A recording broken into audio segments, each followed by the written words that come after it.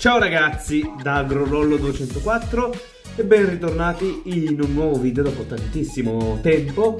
Un video un po' particolare perché oggi andiamo a parlare di una cosa ragazzi che ci tenevo tantissimo a fare E quindi oggi per la prima volta andiamo a fare sul mio canale. Andiamo a parlare mh, mm, di, mh, mm, diciamo, delle tecniche più importanti della, che si fanno comunque da sempre in agricoltura. Infatti oggi ragazzi andiamo a parlare dell'aratura.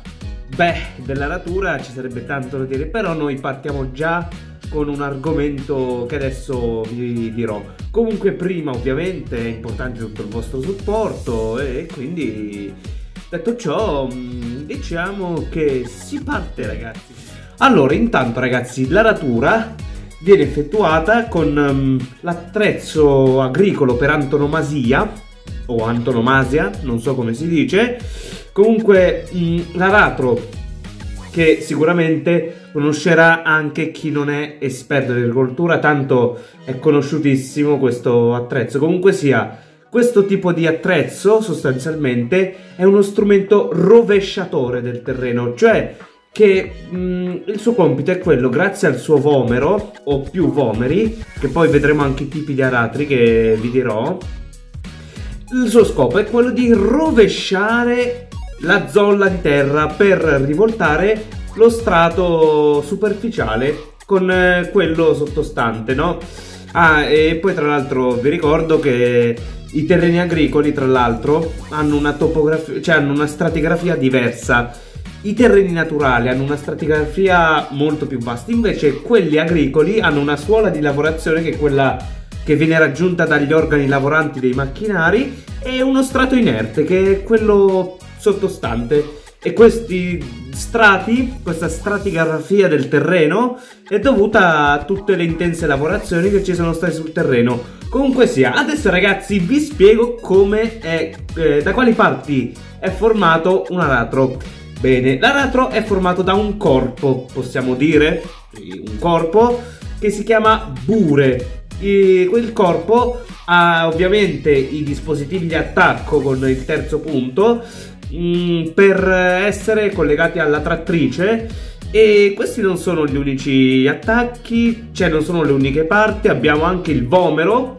Il vomero è la parte eh, che serve per... Eh, che rivolta la zolla, abbinata anche a un coltello. Il coltello eh, che serve per tagliare la, la zolla. E poi abbiamo anche il, ehm, il coltro. Il coltro è una specie di coltello, una grossa lama che si trova davanti al vomero che ha lo scopo di tagliare l'eventuale cotico erboso o strato superficiale eh, per aprire diciamo il terreno sostanzialmente. E infatti mh, mm, ci sono ormai ragazzi ci sono tantissimi tipi di aratri per tantissimi lavori diversi che adesso andremo a vedere ragazzi. Parlando dei tipi di aratro ragazzi partiamo dal tipo di aratro più semplice, cioè l'aratro classico, quello non reversibile che praticamente c'ha il telaio mm, pure con eh, tutti i vomeri, un numero variabile, dipende dal tipo, mm, che però ara in una sola, una, una sola direzione ara questo tipo di aratro e poi eh, questi qua ovviamente gli aratri sono macchine ah poi vedremo anche eh, di dei tipi di aratri anche un po' diversi eh, comunque che non sono azionati dalla, dalla presa di potenza ma solamente dalla potenza del trattore cioè dalla forza del trattore e dalla, dall'impianto idraulico. Anche perché l'impianto idraulico adesso vediamo gli aratri reversibili eh, gli aratri reversibili sono aratri mm, quelli mm, che forse vedi, avrete visto sicuramente tante volte. Gli aratri reversibili arano in due, in due direzioni diverse. Cioè che mh, mm, l'aratro, una volta, una volta arrivati a fine campo, tramite il sistema idraulico del trattore, perché tra- quei tipi di aratri sono abbinati anche a un sistema idraulico di pendoli che servono e di bilancieri che servono a fare questo movimento ribaltatore all'aratro, questo movimento qui, vedete? Ecco, E, ehm, e, quindi questo permette di arare in due dimensioni diverse. Ovviamente questi sono aratri anche mh, mm, due, che possono essere anche diciamo possono avere anche 12 vomeri, quindi aratri molto lunghi che ci sono anche in America e quindi eh, li usano in America. Trattori ovviamente vi ricordo molto potenti, l'America.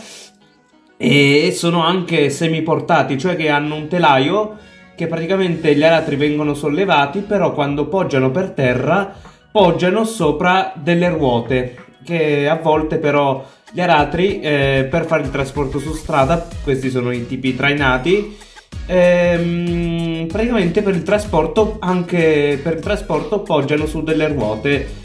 Poi passiamo a un'altra tipologia di aratri, l'aratro a dischi. L'aratro a dischi è stessa funzione dell'aratro, solo che qui al posto dei vomeri abbiamo dei dischi che hanno lo stesso scopo dei, dei vomeri del, um, di un classico aratro, no? Come vi ho detto prima.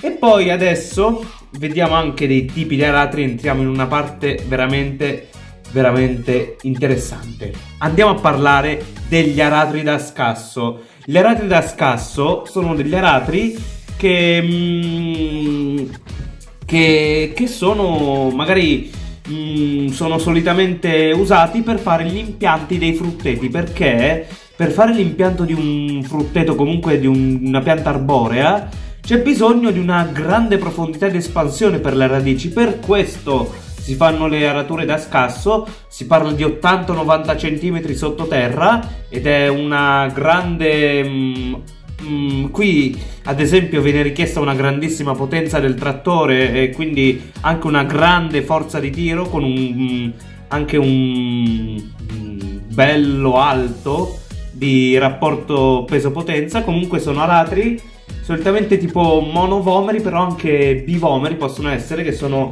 hanno sostanzialmente dei vomeri molto grandi e a volte tra l'altro questi, questi tipi di aratri possono essere tranquillamente anche attaccati ai bulldozer, quelli che solitamente hanno anche la, la pala davanti. Eh, un altro tipo di aratro veramente interessante, però questo non è utilizzato per le lavorazioni del terreno. Questo tipo di aratro si chiama aratro talpa. E perché si chiama aratrotalpa, questo nome un po' strano? A differenza di questi altri tipi di aratri che vi ho detto, l'aratrotalpa è una sorta di ripper, funziona come un ripper. Ricordo, vi dico, anzi vi dico già che il ripper non è l'aratro. Eh, l'aratro è uno strumento rovesciatore, il ripper è uno strumento discissore, cioè che taglia la zolla, non la ribalta. E questo è un aratro discissore perché praticamente viene fatto, viene usato questo aratro per creare ad esempio i dreni per gli impianti di drenaggio per l'acqua o anche per eh, la posa dei tubi degli impianti di irrigazione sotterranei. E praticamente mm, eh, questa roba può essere anche fatta con dei macchinari semoventi che cingolati che avanzano eh, che avanzano e poi c'è una bobina con il tubo, il tubo viene direttamente posato nel, eh, nella trincea che ha scavato l'aratro e niente. Un altro tipo di aratro, questa volta è un tipo di aratro che viene azionato dalla presa di forza del trattore, sto parlando degli aratri, ehm, aratri rotativi. Gli aratri rotativi sono dei tipi di aratri che funzionano con la potenza del trattore. Infatti, sono formati da un, da un albero collegato alla presa che viene fatto muovere dalla presa di forza con le, le zappette che. anzi, tipo dei vomeri che servono per. che fanno lo stesso lavoro dell'aratro. Che anzi funzionano un po' come delle. come delle. Mm, come posso dire? Come delle zampe di una talpa, ecco. Per fare un paragone funzionano così e fanno praticamente questo movimento di rivoltare la, la terra. Non lo fanno così come lo fa l'aratro, ma lo fanno così, praticamente. Ah, tra l'altro questi attrezzi, vengono anche chiamati vangatrici.